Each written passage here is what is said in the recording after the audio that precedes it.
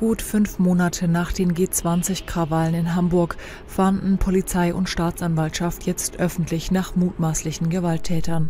Dazu wurden am Montag die Fotos von 104 Verdächtigen auf die Internetseite der Hamburger Polizei gestellt.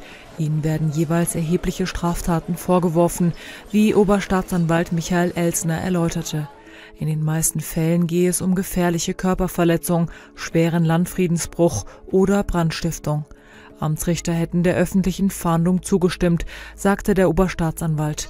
Nach den Tatverdächtigen hatte die Polizei zuvor erfolglos gefahndet.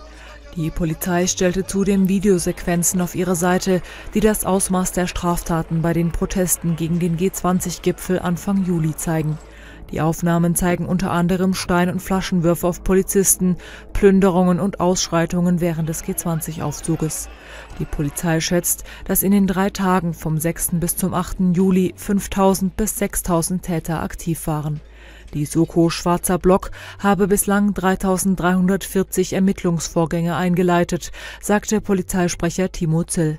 Bei mehreren hundert Verfahren seien Beschuldigte bereits namentlich festgemacht worden